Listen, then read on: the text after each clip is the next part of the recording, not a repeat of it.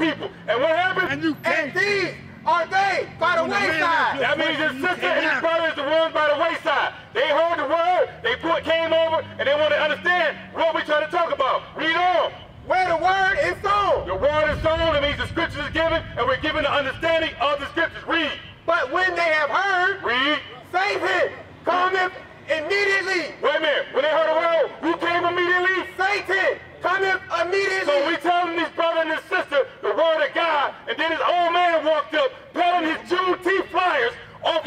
Man Foundation. We out here trying to set this up to teach our people. He ain't taking us back behind down the street to the white churches or down to the, down this street to the other white churches and talking to them and complaining to them about what they're teaching and, and what no Israel is. He want to come out here with us on this platform and want to spew his garbage. He can take his crazy behind back to where he came.